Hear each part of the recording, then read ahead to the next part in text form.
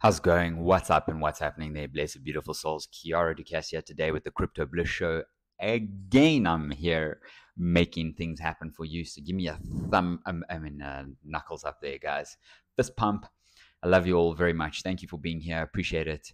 Uh, today I'm here at the practice and I've got a few patients in between. So I'm just trying to do videos here and there in between.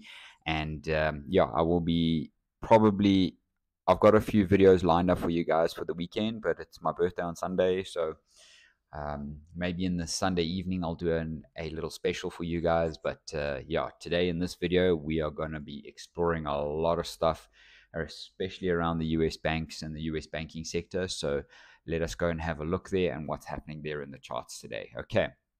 So thanks for being here with me today, guys.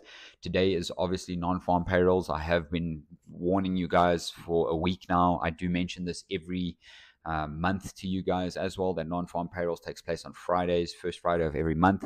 It's the biggest market mover out there, besides for the Federal Reserve Reserve interest rates. Although those things are often priced in, whereas the non-farm payrolls are not. And non often on a non-farm payrolls, you'll see a huge wick to both sides, and then the dust settles and then it chooses a direction. So be patient and wait for the chart to tell you a direction. Don't get stopped out of your trades. And um, yeah, if you guys want to trade with me, make sure to hit that um, that Bybit link down below, and you can get yourself up to a thirty thousand dollar deposit link.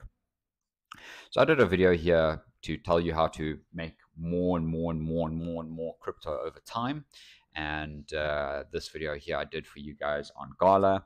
I've got some cool stuff happening, but Gala is going to be absolutely powerful, guys. So make sure not to miss out on Gala. No financial advice.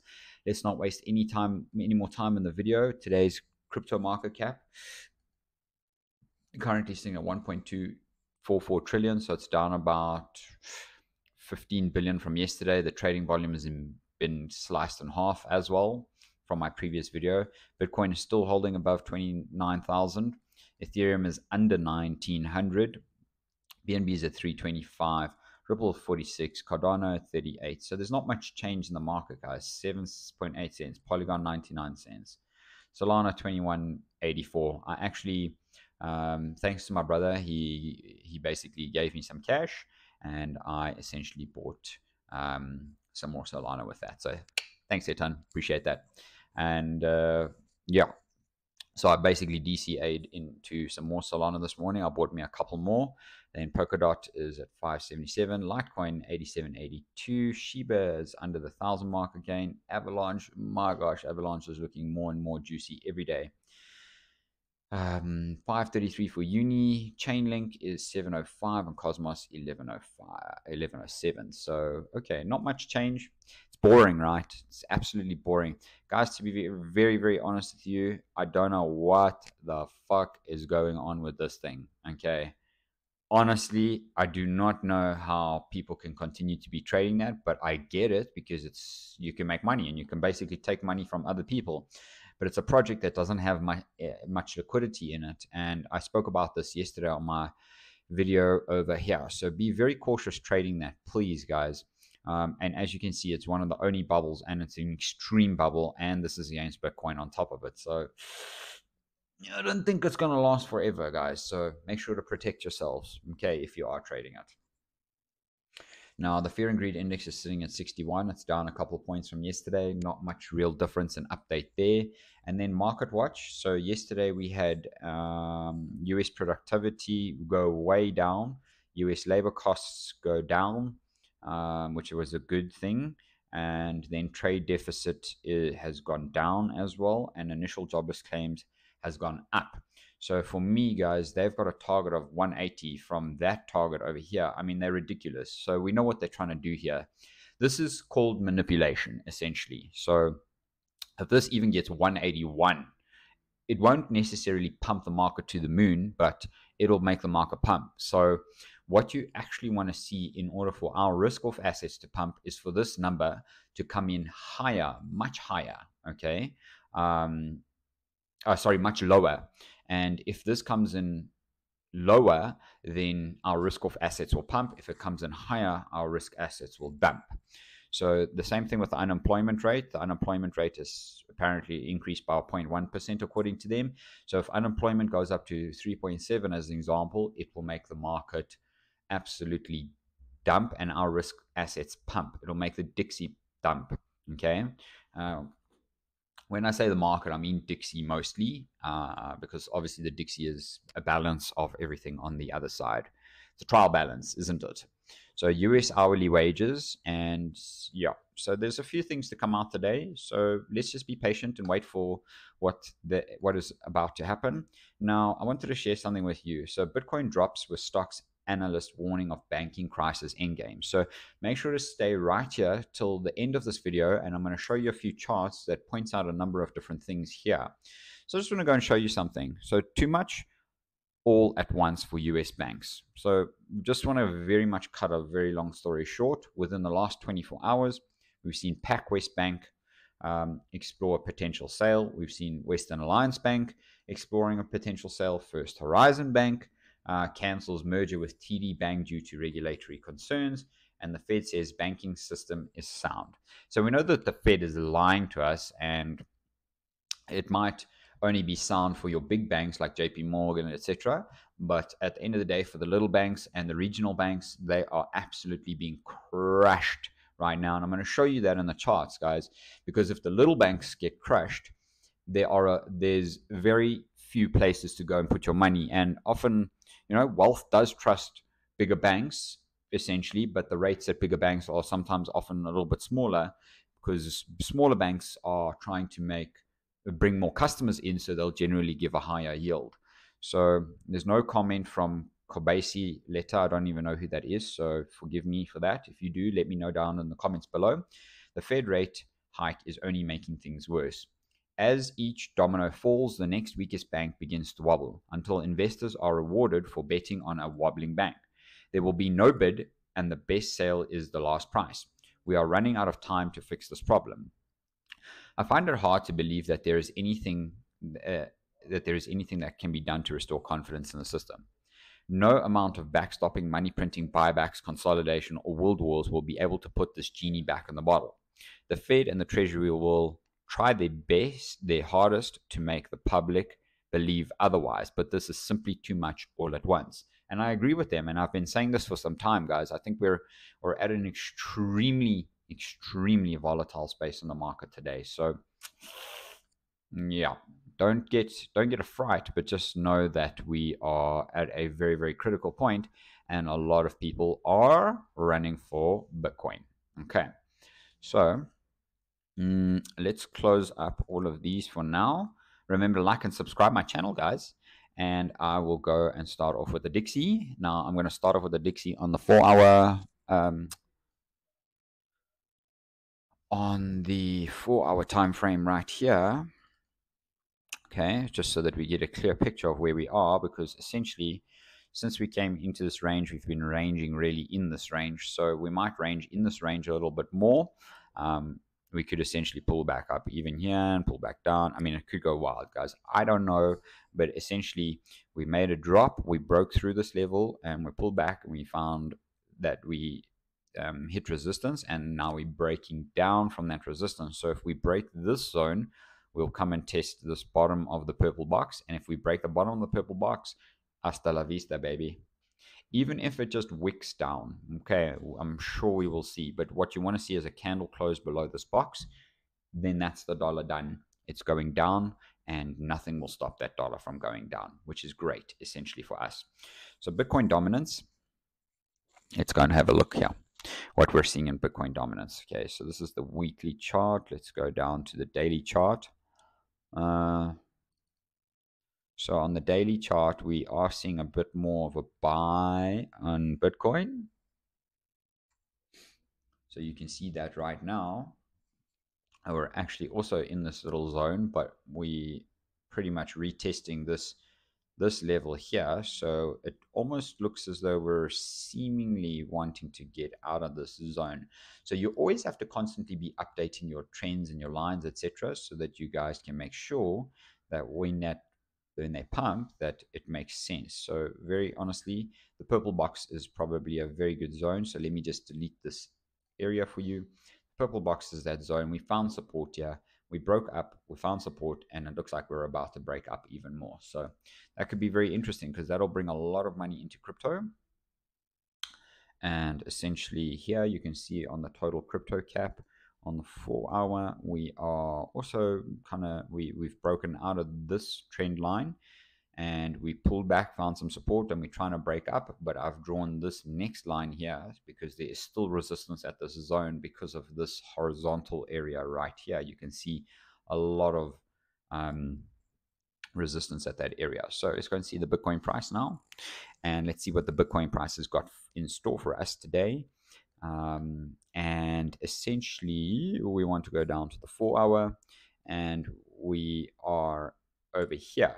So guys, might this zone here might actually not be invalidated. And I say that because even though we're oversold on the RSI over here and we're at a level of resistance, we could essentially break back down somewhere to this zone and we could essentially trade within this symmetrical triangle up until mid-May. So if that is the case, that's okay. Then we just know that there's Bitcoin becomes boring, but essentially we want to be breaking out of this zone and this zone clearly over there. Now the S&P fell on its ass yesterday. Okay. Let's have a look Yeah. Okay. Yesterday, boom, sell signal. Guess what happened? Boom, crashed. Okay. I believe that we're probably coming down to this zone over here. So let us draw a little circle. And let's just say that that's probably where we'll get to before we see anything. If we break this trend line, hasta la vista, we're coming down to the bottom here at 3,500. If we bounce off here and hit here, there's a little bit more of a rally, which is exciting, which is great. But yeah, at the end of the day, it's not going to do much for us.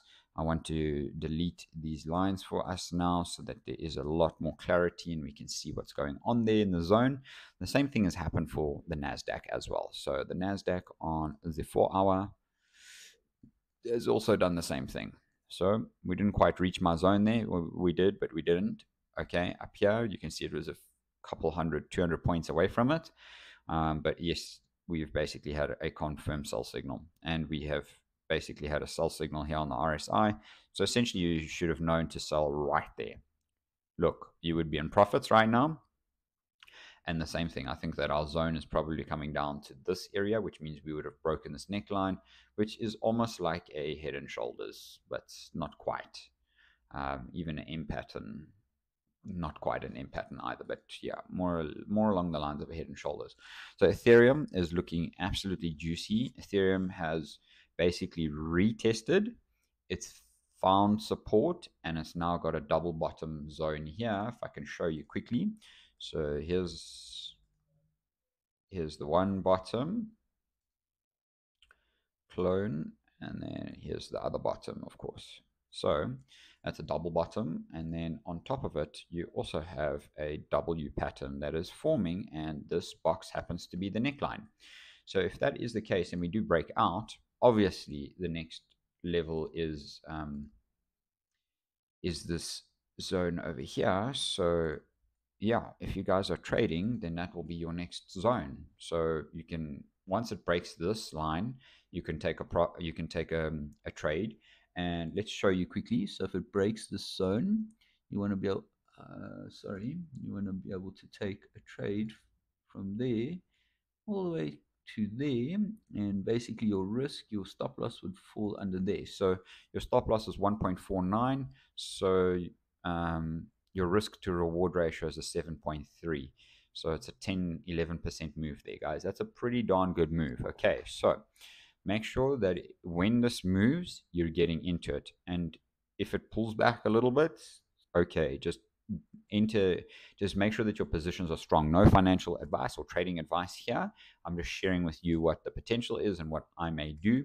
Gold has been coming down uh, today on the daily time frame, uh, on the on the hourly time frame, and we're kind of hitting this little zone of support. So you can see I had a strong uptrend here, broke that this morning, and I've now placed another level of support there, um, which it's currently holding, but um, we'll have to see what it does there.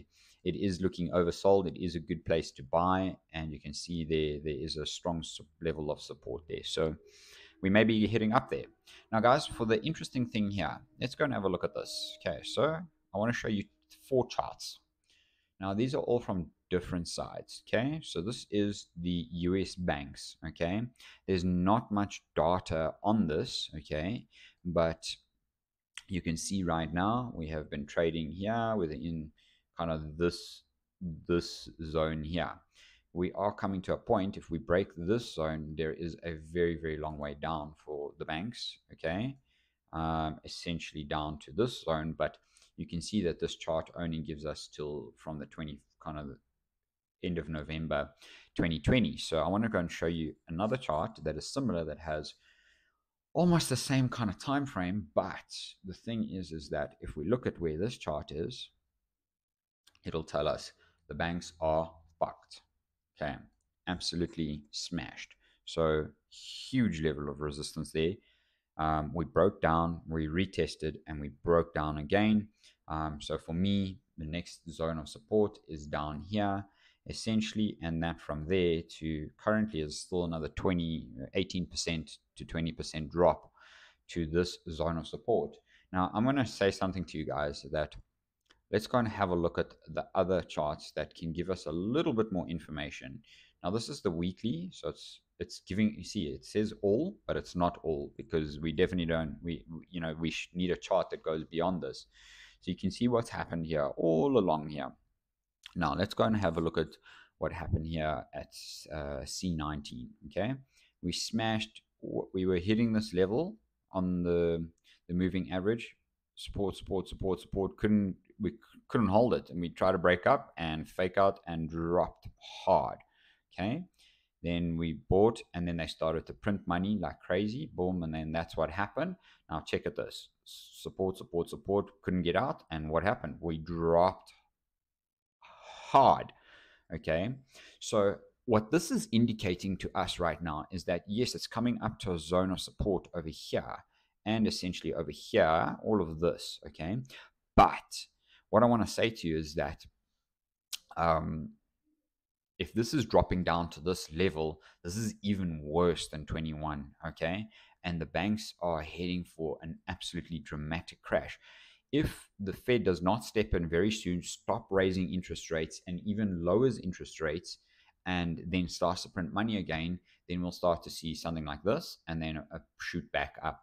But I, my personal views is that the the Fed has lost, the banks have lost, the banks have to reset. The only way for it to do that is for the Fed to just let the banks go crushed, and the strongest will survive. So I have to go and show you this now is a very similar chart. Um, uh, I want all and I want weekly. Okay. So you can see, because just that it medians the line a lot easier. Now the same thing is happening here. I just want to go and show you the MACD and what happened on the MACD at this point. So the MACD had crossed down and then it started to pull back up. Look at the look at where it's pulling back up. So now right now the MACD is pulling down, but I don't think we've actually had the pull that we need down to basically reset the markets. So for me, we could essentially come a lot lower, and this is a stock ticker for the Dow Jones US Banks Index. So we're already down 3.18% today or yesterday. Um, and I do believe that it could essentially come down even further. Guys,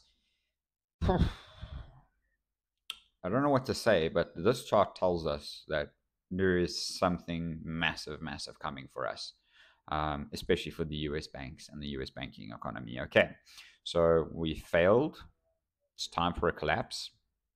And essentially, this is the zone that we're going to be looking at for some support here. So let's see what happens. But yeah, hold thumbs, make sure that you've got cash on the side, your white powder, and you're ready to invest when these things continue to drop even more. It might affect the the um, it might affect us in crypto, but actually, I just want to go and see. Just give me a moment. Um, let's go and see for us the US banks. Um, what did I want? The US. I want to see the US banks again. Uh, sorry, the S&P, uh, SPX, BTC. Uh, do we have anything like that? No. No. Okay. Okay. So I just let's go rather back to the S&P and let's go on to the daily time frame. So on the daily time frame, you can see this is what's the pattern here. If we go and look at Bitcoin on the daily time frame, okay, the pattern is very different, which means that we've been decoupling from this. Okay, so yes, the S&P's supported this, but we've been decoupling. Okay, and you can see that quite clearly. So thanks for watching. Appreciate you guys. We'll see you on the next one.